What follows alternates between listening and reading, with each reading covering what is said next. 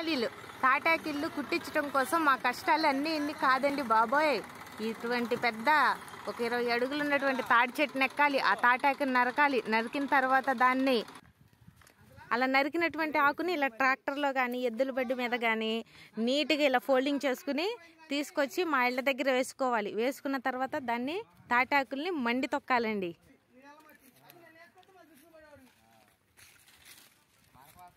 ఈ తాటాకుల టాక్ని పెద్ద పెద్ద మోపులతో కట్టుకొని తీసుకొచ్చారు.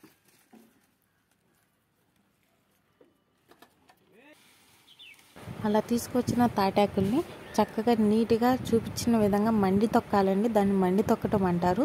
ఈ తాటాకులు అనేది నరికి చెట్టు నుంచి తీసుకొచ్చిన తర్వాత ఇలా రౌండ్గా ఒకదానిపైన ఒకటి పెట్టి రౌండ్గా మండి తొక్కాలండి.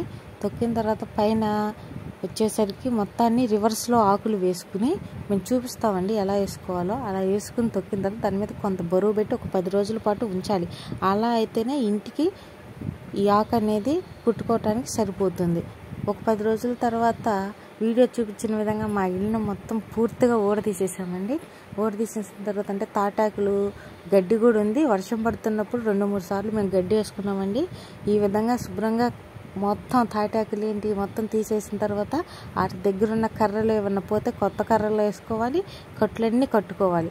తర్వాత మా ఇంటికి ఇల్లు కుడతానికి యోహాన్ అండి అతని పేరు అతను వచ్చాడు.